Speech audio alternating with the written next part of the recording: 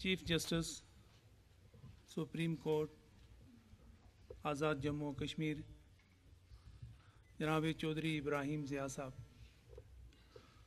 ان کے پہلو میں رونق افروز، جناب جسٹس عبدالحمید خان صاحب۔ میجر جنرل وقار خان صاحب، پرو وائس چانسلر محی الدین اسلامی یونیورسٹی، سردار حبیب صاحب اور کیمپس کوارڈینیٹر جناب خٹک صاحب،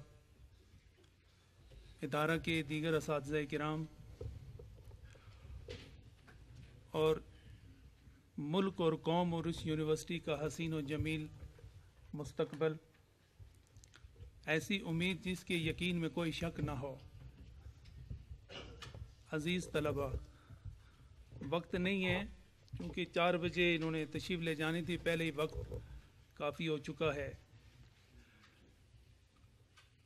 میں جناب چیف جسٹس صاحب کی یہاں آمد پر یونیورسٹی میں اور دربار فیض بار نیریہ شریف آمد پر دل کی عطا گہرائیوں سے ان کا شکریہ ادا کرتا ہوں۔ ایک طرف تو آپ نے دل معجور پر مرہم محبت رکھی ہے۔ اور دوسری طرف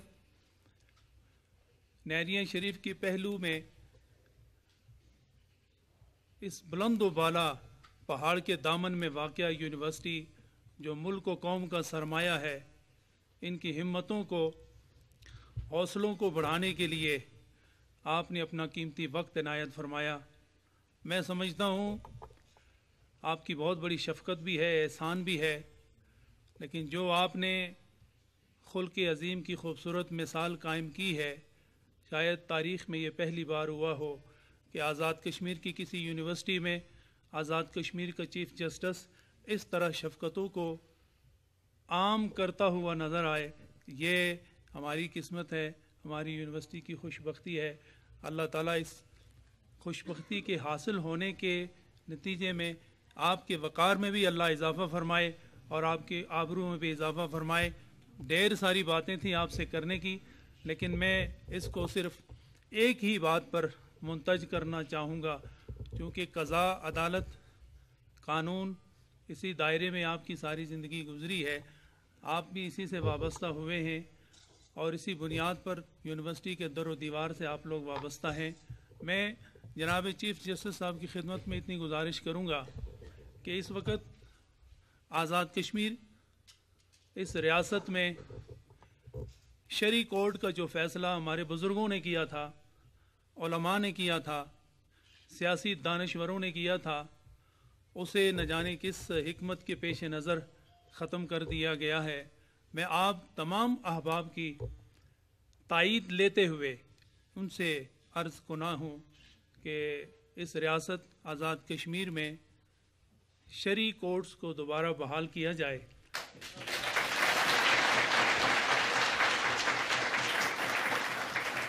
شری کورٹ کے ذریعے اسلامی قوانین، دو قصاص اور متعلقہ دیگر امور پر قاضی حضرات جس طرح اپنے محنت پہ شاکہ کے نتیجے میں وہ معیت ثابت ہوئے ہیں، ان کا وہ فیض چشموں کی طرح جاری و ساری رہنا چاہیے اور ہماری آواز بھی یہی ہے کہ بزرگوں کے فیصلے جو خیر، برکت و رحمت کا نتیجہ ہوتے ہیں، وہ فیصلے اتنے محدود اور اتنے عارضی نہیں ہوا کرتے۔ بزرگوں کے فیصلے کو قیامت تک جاری رہنا چاہیے، اس لیے کہ وہ خدائی اور مصطفی قانون کا ایک نتیجہ ہوا کرتے ہیں۔ اللہ تعالیٰ اس ملک میں اور اس سرزمین میں قرآن و سنت کا نفاذ، نفوذ اس کو جاری و ساری فرمائے۔ اور ملک پاکستان میں ملک حکومت آزاد کشمیر، ریاست آزاد کشمیر میں قانون کو اللہ بالدستی نصیب فرمائے۔ میں بار دیگر جناب چیف جسٹس صاحب اور آپ کے ساتھ آئے ہوئے دیگر مہمانوں کا دل کی عطا گہرائیوں سے شکریہ ادا کرتا ہوں۔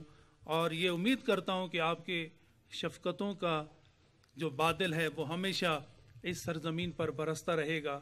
بہت بہت شکریہ آپ کا۔